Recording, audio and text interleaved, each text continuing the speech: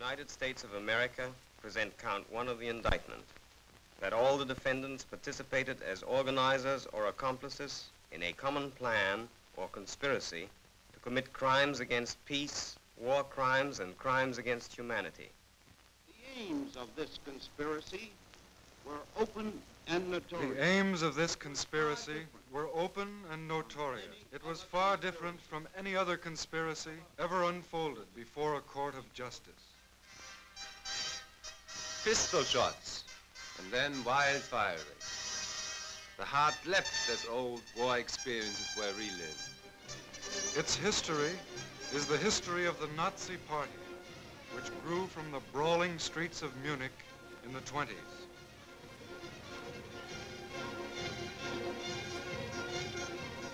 And from the beginning, Adolf Hitler and his followers were committed to the use of any means, whether or not they were legal or honorable.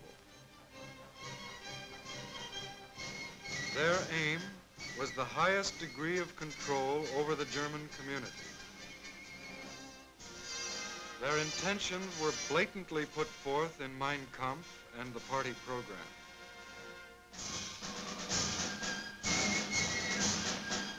And they preached their favorite doctrine up and down the land.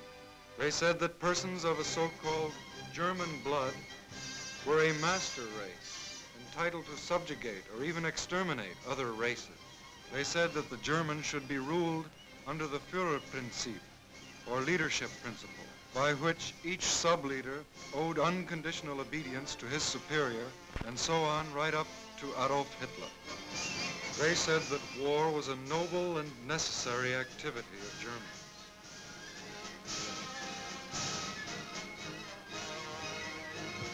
They said that the Nazi Party alone had the right to rule Germany and the right to destroy the party's enemies.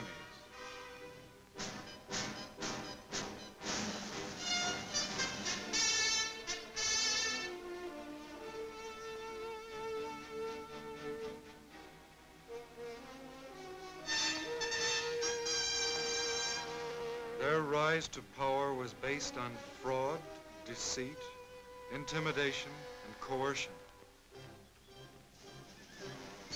culminating finally in terror and flame.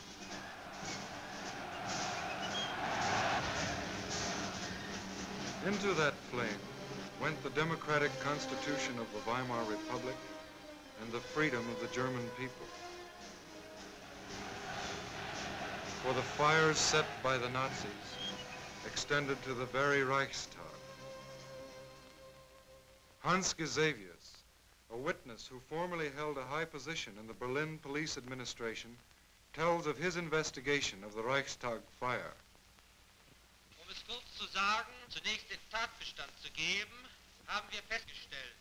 To speak briefly and to state the facts. First of all, we ascertained that quite generally, Hitler had stated the wish for a large-scale propaganda campaign. Goebbels took on the job of making the necessary proposals, and it was Goebbels who first thought of setting the Reichstag on fire.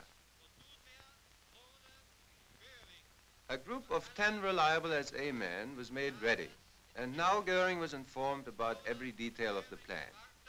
It was expected from Goering, and he gave his assurances that he would do so, that the police would be instructed, while still suffering from shock, to take up a false trail.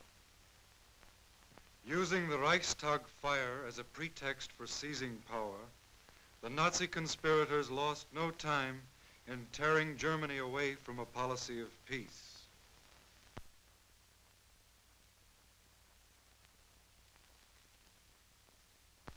Late in 1933, they led their nation out of the disarmament conference, quit the League of Nations, and embarked on a course of secret rearmament.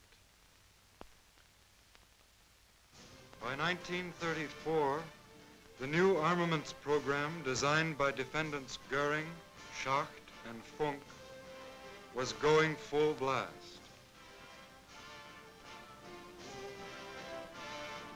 German industry was again turning out the tools of war. Krupp plants hummed And one year later, Goering could announce, From the strong foundation of the National Socialist ideology, today rises once again the German armed forces. A few days later, General von Blomberg announced the new law for compulsory military service.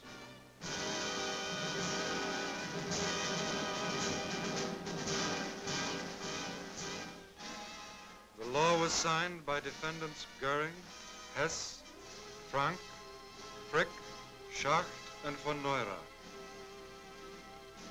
The training began.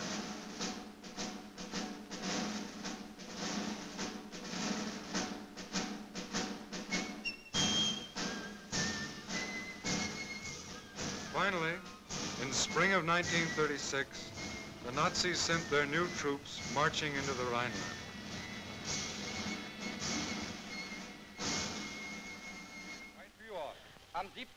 Mein Führer, on March 7th, 1936, soldiers of the army, which was created by order of the Führer, crossed the sacred river of German history and occupied their former garrisons.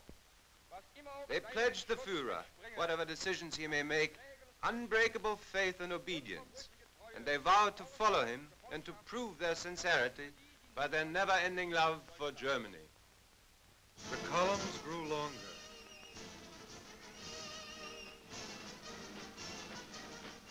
The sound of boots grew louder on the streets of Nuremberg. But Hitler said,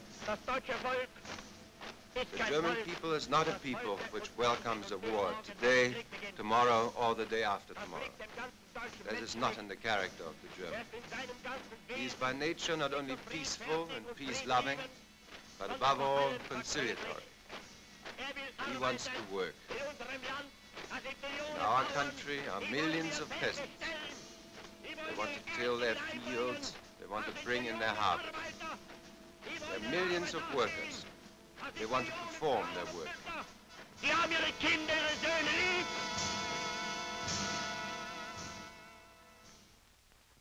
But the Nazi conspirators, in the name of Lebensraum, continued to plot new aggressions against peace. In November 1937, Hitler called a special meeting with defendants Goering, von Neurath, and Raeder, and generals von Blomberg and von Fritsch. The meeting was secret, but Lieutenant Colonel Hossbach, Hitler's personal adjutant, faithfully recorded Hitler's words. The German question can be solved only by way of force. For the improvement of our military political position, it must be our first aim, in every case of entanglement by war, to conquer Czechoslovakia and Austria simultaneously. The annexation of the two states to Germany, militarily and politically, would constitute a considerable relief. This meeting set the stage for Nazi expansion, and Act One came only three months later at Berchtesgaden, where defendant von Papen finally engineered a meeting between Schuschnigg, the Austrian chancellor, and Hitler and defendants Keitel and von Ribbentrop. Guido Schmidt, who was Austrian foreign minister at the time, also attended the meeting, and now he takes the witness stand. Did Hitler demand that Seyss-Inquart be made Minister of Security? That was one of the demands on their program. Were there also demands made with regard to currency exchange and customs? There were demands of an economic nature of every kind.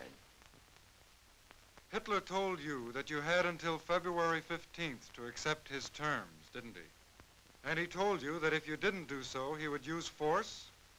The ultimatum, as Hitler stated it, was that he intended, as early as February, to march into Austria, and that for the last time he was prepared to postpone it. Faced by these threats, the Austrians carried out all Hitler's demands.